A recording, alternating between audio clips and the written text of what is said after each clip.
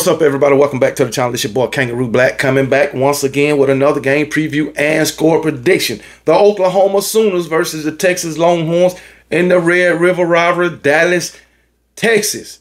Not going to take too much of your time, so let's go ahead and get into the video talking about these Oklahoma Sooners coming into this game four and one. Only losses to the Tennessee Volunteers, and when it comes to the Oklahoma offense, it is not very good. It is stagnant quarterback Jackson Arnold, not very good to me.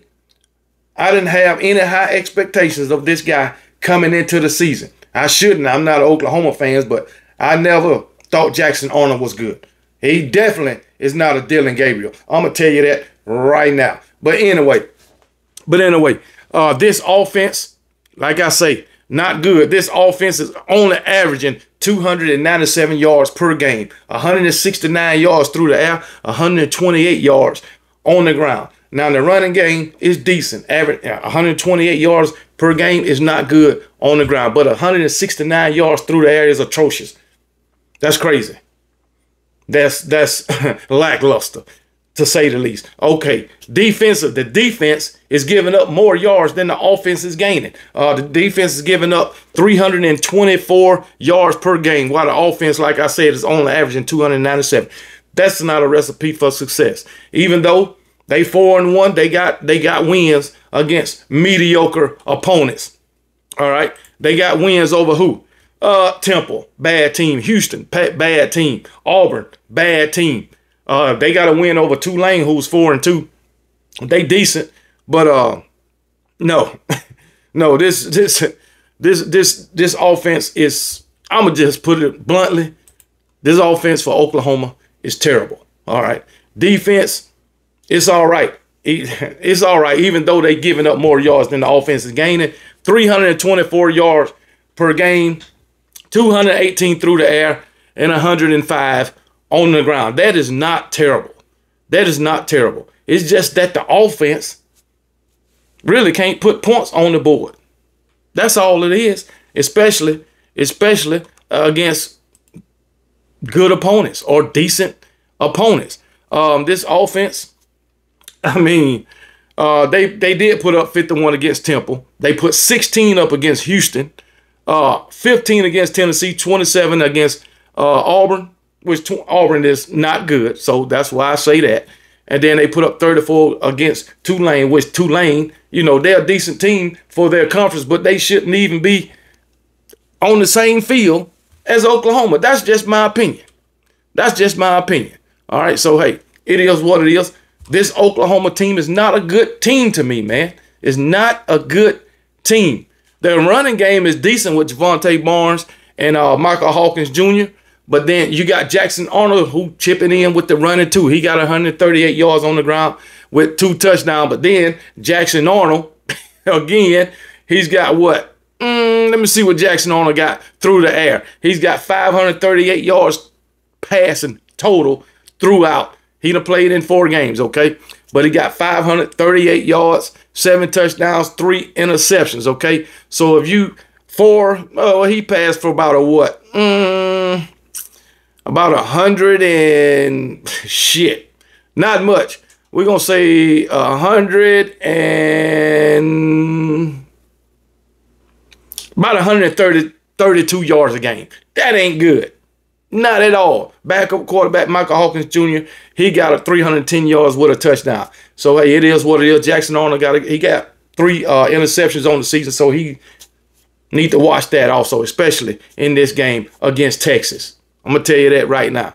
But anyway, the wide receivers, man, like I want to say, they only got eight uh, receiving touchdowns, so they ain't getting much. They not getting much. Their their their leading wide receiver, Deion Burks, only got 200 yards through through uh, four games. So 50 yards a game, basically, with three touchdowns. 50 yards a game ain't gonna win you too many games.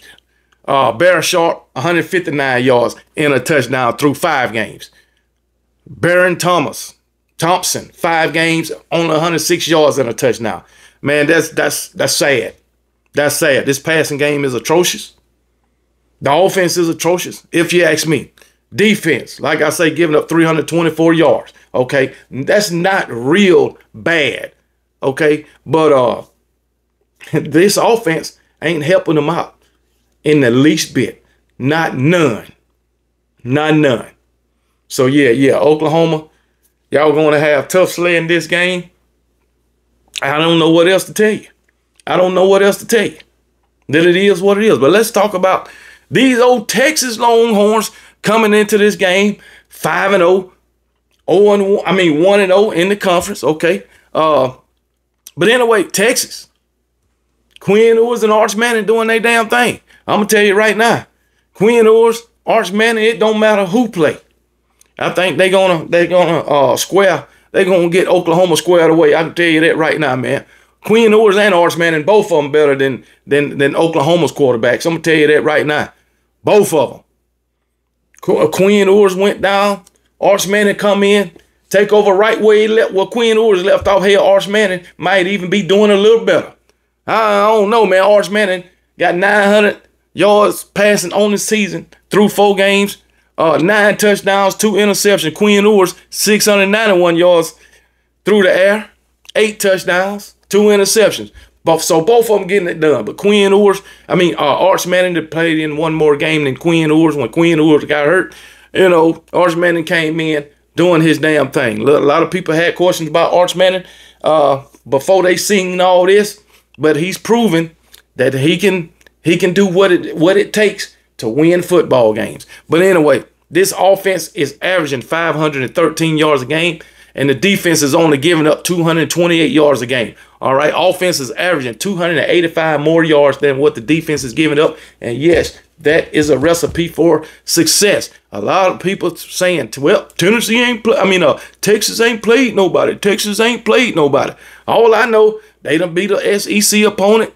They done beat the defending national champions, Big Ten, and the Michigan Wolverines. So it is what it is. I know Mississippi State is the worst team in the SEC. A lot of people think Vandy is, but Vandy has proven they not. Vandy is three and two, while Mississippi State is like one and four. So hey, who's the who's the worst team? But anyway, uh, so hey, it is what it is, man. Like like they always say, you play who they put in front of you. Steve Sarkisian didn't make the schedule. That's all I know. But people want to say, well, Texas ain't played nobody. But I tell you what, they finna play Oklahoma, and uh, I think they gonna they gonna uh, manhandle Oklahoma. I'm gonna just put it like that. But anyway, offensively they good, defensively they good. It is what it is. Jaydon Blue. Well, we thought that Texas was gonna have issues with their running game coming into the season, being that uh, their, their their number one back coming into the season went down went went down in the fall. But hey, it is what it is. But Jaydon Blue, 239 yards rushing through four games and uh, four touchdowns. He's also got two touchdowns receiving. Jerrick Gibson, uh, running back, 226 on the season, yards, three touchdowns. All right. Uh, then Trey Tre Wisner, he's got a touchdown on the on the ground. So hey, that's the only one he got. But then you got Arch Manning helping out. He got three touchdowns on the ground, man. And then these wide receivers, they got some hell of a wide receivers, man. They got Isaiah Bond, who is their leading wide receiver, transfer from my Alabama Crimson Tide, I might add. Isaiah Bond, through five games, 364 yards and four touchdowns. Uh, Ryan Wingo, second leading receiver, two, four, 247 yards uh, and two touchdowns. Then uh, Matthew Golden, he's got three touchdowns on the ground with 223 yards and uh, uh, uh, Gunnar Helm, 220 yards and a touchdown. You got Johntay Cook with two touchdowns on 137 yards. DeAndre Moore, 127 yards with three receiving touchdowns. I mean, Jesus, man. Who else you got? Uh, Silas Bolden, he's got a touchdown receiving with 75. The point I'm trying to make is they are spreading the ball around to different wide receivers. I want to see my Alabama Crimson Tide do that from time to time. You know what I'm saying? But Steve Sarkisian, he's getting this ball spread around to different wide receivers. So you don't know who the who the play is called for in the receiving game. Keep that defense wondering, where's the ball going to go? You know what I'm saying? Can my Alabama Crimson Tide do that sometime? But yeah, man, I like what I see in this Texas offense. Steve Sarkisian is a hell of a play caller. I'm to tell you that right now. And Oklahoma defense gonna have their hands full this weekend. Some people might say, hey, this is a rivalry. This the Red River rivalry. You can throw the records out the window. Well, not this year. Not this year.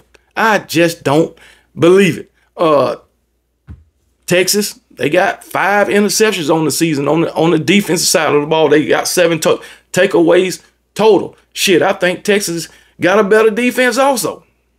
I, I think Texas got a better defense. Five, eight. Damn, man. Uh, let me see. Two, six, eight, nine, ten, twelve. Mm. 12, that's 12. About 13 to 14 sacks on the season. That's, that's pretty damn good, man. That's good and a hell of a lot of, a lot of tackles for loss. So defense is not bad.